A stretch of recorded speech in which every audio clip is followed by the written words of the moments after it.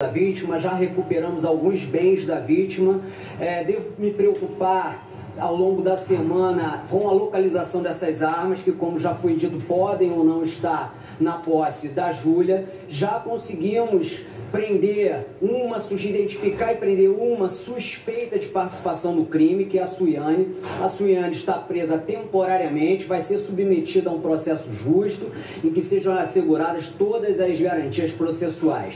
Agora, no mais, eu peço aos senhores um pouco de compreensão, porque, como eu disse, há muito a ser feito ainda, há muito trabalho a ser realizado e nós pretendemos realizá-lo com, com excelência. Então, por favor, peço a compreensão de todos. Doutor, a gente tem a, o brigadeiro e tem também ela falando sobre queijos que eles comeram no dia.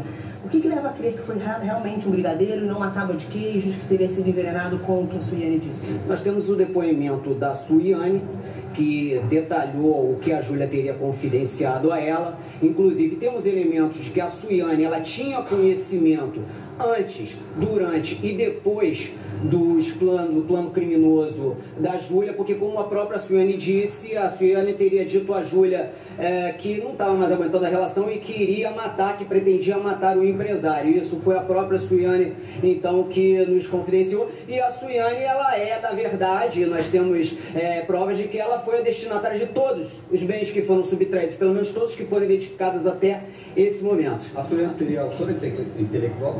A Suiane, nesse cenário, o que sabemos é que a Suiane era uma espécie de mentora espiritual da, da Júlia e que certamente exercia forte influência sobre ela. E temos, volto a falar, é, elementos que levam a crer que a Suiane sabia do plano criminoso da Júlia e que a Suiane foi a destinatária é, de todos esses bens. Meus amigos, como eu disse, há muito a ser feito. Inclusive, quando ela recebeu o carro, ela sabia então de tudo que tinha acontecido. É o que, é o que consta nos autos, tá? Tem alguma pista se ela está no Brasil, se ela está no estado, se ela está no Rio? Sem pistas. As equipes estão na rua, nas ruas, a gente ficou empenhado esse final de semana inteiro. Nós estamos recebendo um apoio muito grande do nosso departamento, da doutora Raíssa, apoio para a gente poder cumprir todas essas, essas buscas e essas verificar essas informações, mas até o momento não, não posso me pronunciar a esse respeito. O que aqui diz a perícia? Tem alguma previsão de conclusão do laudo? Vamos verificar, JPMR, tá bom? Meus amigos, muito obrigado, bom trabalho a todos. Realmente eu tô, eu tô no meio de um motivo.